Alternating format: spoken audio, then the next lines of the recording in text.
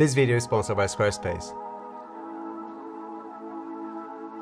I'm really on fire tonight. Can't nobody hold me down. I'm doing whatever now. No. While some people out there are deciding to focus on the fake moon controversy, I'm not gonna waste your time with that. The S23 Ultra is simply the best phone I've used in a long time. But can I be honest with you? I also love my Z Fold 4. I'm still having a great time with this, but the overall package that I'm getting with the S23 Ultra and what this phone has been able to deliver for me in performance, entertainment, photo quality, video quality, you name it, it's just the best. It really is. I really don't understand why it seems impossible for some of these big YouTubers to recognize it, you know? I've always seen this moon thing as a, a bit of a party trick. It's not really a useful feature for me. You know, if I want a, a really good picture of the moon, I'll just Google it. Anyway, enough about them, enough about the moon. I'm Alex and I do down to earth tech videos. That actually, that was good. I mean, in my last video, I suggested that this might be a good time to switch from Apple to Android. So in a way, I'm putting my money where my mouth is. I've genuinely switched and sold my iPhone 14 Pro Max on eBay. But there's a catch. It's more nuanced than that because of that ecosystem issue. And let me explain because I'm glad I'm not alone on this. I know you're thinking the Apple Watch, I'll get to it, don't worry. But many of you who may have come here from my Apple videos before, you shared with me in my comments that even though you've used Apple for a long time, like me, you'd love to try the S23 Ultra too. But you're kind of stuck with the Apple ecosystem and it's really hard to leave it. And trust me, I've been there. By the way, let me level with you because I know not everyone makes this clear. This is not a Google, a Samsung or Apple specific channel. It's a gear and tech channel. I love tech, right? And as a tech content creator who covers multiple brands, is going to be very difficult to 100% switch exclusively to a single brand. So when you hear a creator out there, someone like me saying that they switched or they're switching, I say take it with a pinch of salt. That's all I'm going to say about you it. You know, to give you a balanced review, in my opinion anyway, you'd be silly to only cover one device, right? I mean, how could I ask you to trust my review on something if I haven't used or tested against the competition? So outside of completely switching and experiencing the best in innovation and camera features, you know, without losing that comforting look of a blue or green bubble, you know, what can you do to keep some of those best of both worlds scenarios. And it's not just about messaging, right? Whatever ecosystem feature that you might like. I did loads of videos about how silly I think the whole Android versus Apple thing is, by the way, but I totally acknowledge that it is a problem. There's no point me denying it, but hopefully my approach here might help you if you're in the same situation. The S23 Ultra has really taken me by surprise, right? The experience has been superb right from the start. I had my doubts. My first video about it was actually not great. You know, I was saying it's, it's the same old crap, you know, same design. But from a performance, uh, display, video, photos, multitasking abilities, this thing is a powerhouse. Is is the best phone out there. I, I'm sure of it. And like I keep banging on, I wish more people would be talking about this because despite me loving some of my Apple products, I have no issues to say, right? I think Samsung has nailed it with the S23 Ultra. For me, it's one of those phones that set a standard. There's like a before the S23 Ultra and after, right? This set the standard for me. I can guarantee if this had like an Apple logo in it, we wouldn't be hearing the end of it. You know, Marques and those guys would be going on and on. Anyway, and I'm not gonna rant in this video, I've done that in my previous one. There's something with the S23 Ultra that really surprised me though, which basically led to my decision to switch. Bro, get to the point. I will get to the point. I just need to give you some context first because I'm pretty sure that will help you. The S23 Ultra is so good, I really found no reason to keep my 14 Pro Max. The iPhone 14 Pro Max had already taken a back seat, if I'm really honest, you know, in my day-to-day -day usage, it was already almost collecting dust. I've been absolutely loving the Z Fold 4 that was an absolute revelation for me. And I've been saying myself that the ecosystem is not as much of a problem as you know people make it out to be, but that's probably because I didn't realize that the iPhone still play an important part in how all my devices work, including this guy. But I'm looking at my Apple Watch and going, man, I really, I really love this watch as well. I hate that I love it, but I do. It's not perfect, it's expensive, and there's no point me trying to kind of wear a Galaxy watch, which I do have one as well, but there's no point me wearing one just to say, here, Android fans, you know, I'm, I'm using everything Android. No, I love my Apple Watch and I'm not changing. I'm not leaving. But then it hit me. Do I need a 14 Pro Max just to sync my watch? And that sounds like a massive waste. The answer is no, as you know, right? That's the whole point of this video. And I think you know where this is going, but I'll review that in a minute. And like I said, this is not becoming an Android only channel, right? I'm just really, really impressed by what Samsung has been doing. The Tab S8 Ultra, I mean, lives on my desk. This thing is, is like, I use it every day for work. Everything they're doing at the moment seems to be really top-notch stuff and actually giving features to us that that we've been asking. So they're listening to customers and they're giving us amazing hardware. What they didn't do so much on the design, you know, for me anyway, they have done in all other aspects. Some of you who use Samsung devices for a long time might not like this, but maybe they're becoming a little bit like Apple, right? The good Apple, where they're changing the design just a tiny bit. The only difference I'd say is Samsung, when they say improving the features, they actually are improving the features massively. In comparison with the S22 Ultra, which I sold as well, this is worlds apart for me. At the end of the day, Apple's improvements on the iPhone to me feel like tiny increments or straight up gimmicks like the Monkey Island. I know I'm kind of overlooking the marketing fluff of Power Fusion, whatever the hell they're doing with the cameras on the iPhone. Sure, the iPhones are still premium quality, they've got that, that brand status attached to it. And the sales back it up too, right? But but that doesn't tell the full story for me. I'm looking at a device that looks great, takes awesome 4K videos and photos, but is less ergonomic to use, has a more distracting display, has pretty much the same software we've had 15 years ago. Okay, that's too much, but you know what I mean. And it still needs this weird cable that no one else uses, including Apple themselves, right? I appreciate that from a software perspective, the same could be said about Android, right? But from an evolution perspective, I feel like Android, and in this case, Samsung's version of it, One UI, has made the most progress.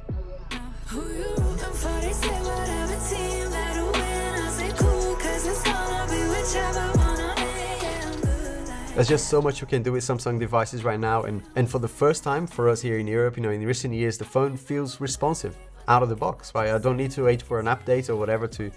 Th- There's been a couple of updates already, but I don't actually have any issues with crashes, slowness, or experienced any bugs. I'll talk about the shutter lag in a minute, but it's been a month now and I've been pretty happy with it. In contrast with iOS 16, I was having nothing but issues, you know, since the iPhone launch in September or whatever it was last year. And only very recently I started to see a smoother experience, but I had battery issues, I had crashing issues, but you know, a couple of weeks ago by after an update and you can't make a phone call.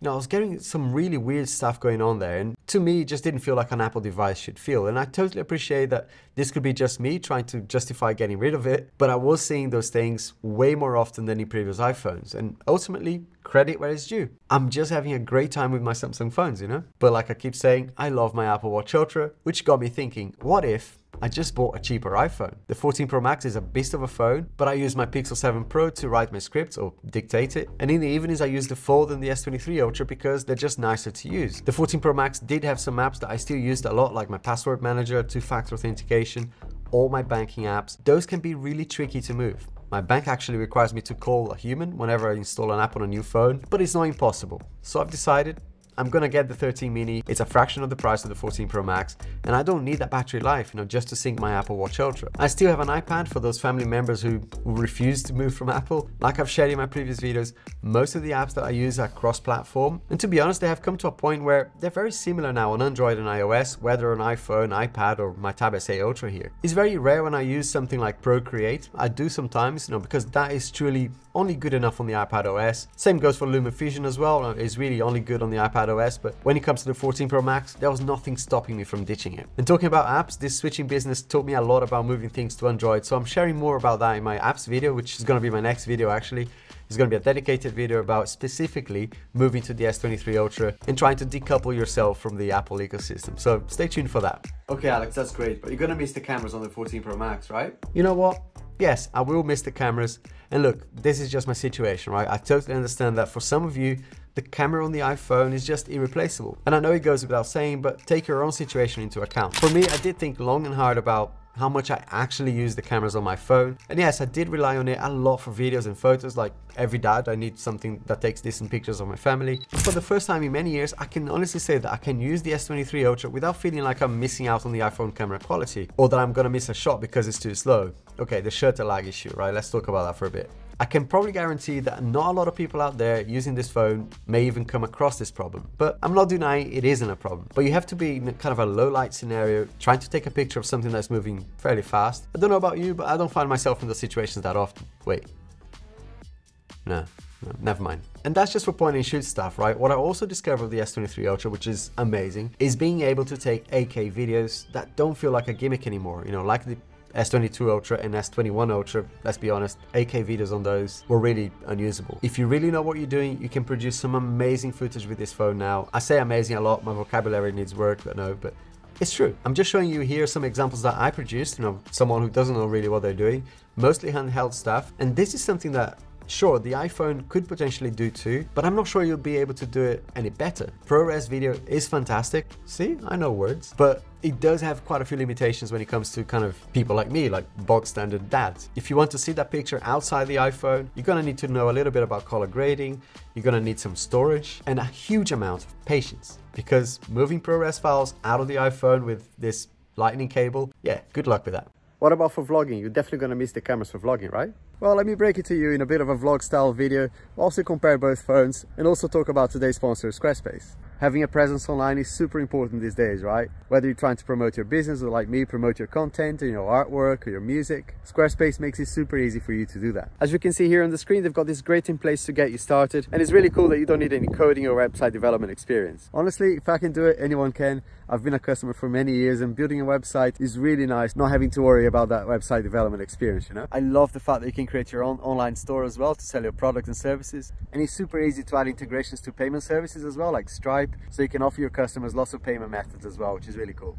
And not only that, they've got this new feature called the member areas, which I'm experimenting with as well. So you can offer subscriptions to your customers. You can get quite creative with it as well. You can offer different models of subscription, different levels of memberships. It's really cool.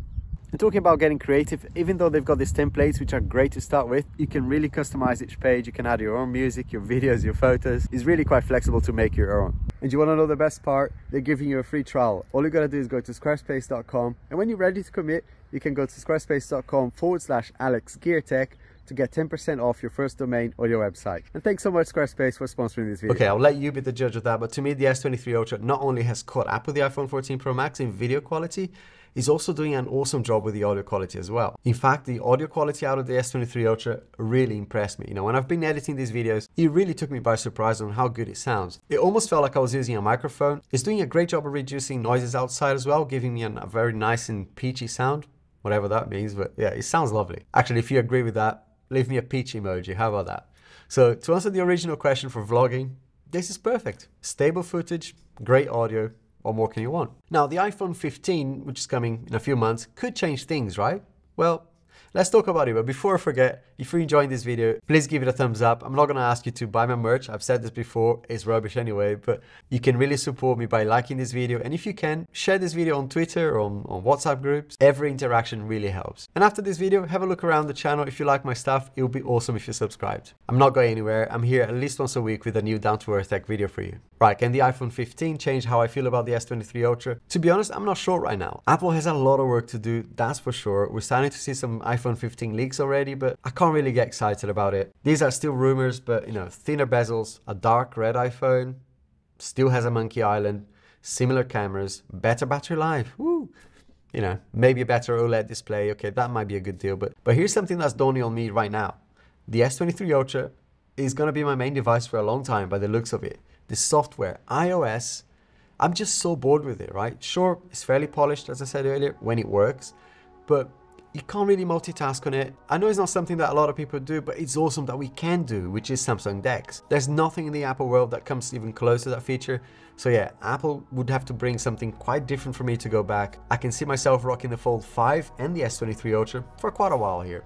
For many of us, this is the end of an era, right? I mean, I just realized that that little vlog video that I did on the 14 Pro Max was the last video I recorded on the iPhone before selling it. You know, I don't know how I feel about it, but I am excited to make the S23 Ultra even more present in my day-to-day -day life. And what a combo I've got here, right? But with either of these two, I'll be perfectly happy. The bottom line is, I've had every single iPhone since the first one, and this this is the first time that I felt like downgrading it is the best option for me. You know, for a long-standing customer like me to feel like this is the best option, it must be saying something about the current iPhone. And you know what's interesting? I've switched from Apple to Android before and back to Apple, but I realized that it was never a proper switch, you know? The 12 Pro Max in 2021 was still around and whilst I used the S21 Ultra for 9 to 10 months, the iPhone still did quite a bit for me in terms of videos and photos. So it's the first time since 2007 that I actually don't have an iPhone that I'd go for, you know, photos and videos. But I'm glad I found a nice way with the 13 mini to keep my Apple Watch and still enjoy the S23 Ultra and I think my wallet agrees with that. If you haven't yet, check this banger over here. Really proud of that one actually. Probably one of the best videos I've ever made. And if you've seen that one already, check this one's here as well.